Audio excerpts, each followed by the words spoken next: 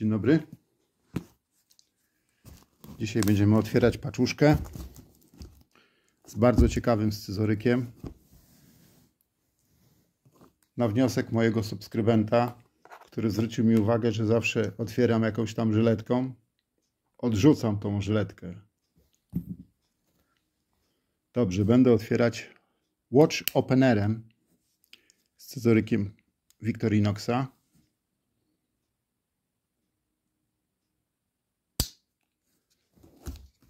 Powinien przyjść handyman. Handyman dla mojego szwagra.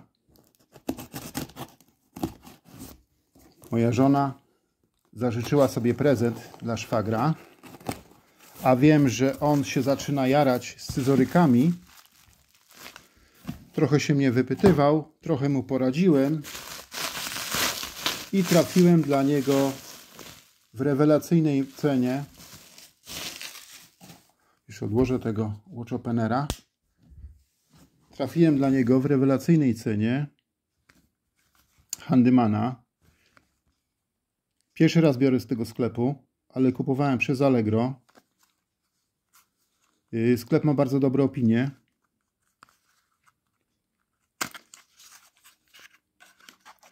No i wziąłem tego handymana. Powiem Wam, że bardzo ładny. Powiem Wam, że cena była no zdziwiła mnie ta cena w polskim sklepie, bo wiecie, że ja zawsze kupuję na Amazonie z zachodnich sklepów, na przykład z jakichś tam Niemiec, Francji, Włoch. Tak, tłoczenie, wszystko ok. Nie ma rysek. Dopiero wyjęty z paczkomatu. I cena mnie bardzo zaskoczyła, ponieważ 100 zł taniej niż normalna cena. Ale czytałem opinię o tym sprzedawcy. Wszystko się zgadza. Była to cena dnia na Allegro.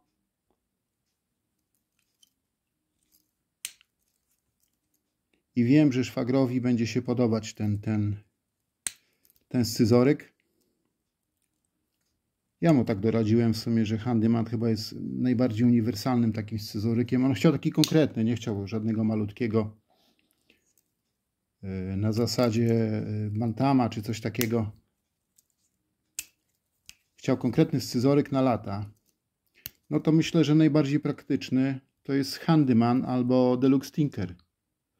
Wybrał sobie Handymana, to znaczy tak podpowiedział wybraliśmy my dla niego handymana.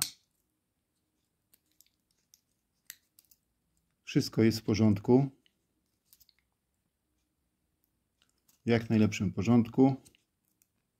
Jestem zadowolony. Paczka szła dobę. Jest otworek na szpileczkę. Wszystko jest ok. No i niech się chłopak cieszy. Jeszcze pokażę Wam dla porównania Watch Openera 84 mm, a Handyman 91. No i uwaga, jedna warstwa, a 6 warstw. Można powiedzieć, że prawie 7, ponieważ te kombinerki y, no, są szerokie. Ok, to dzisiaj tylko tyle. Cześć.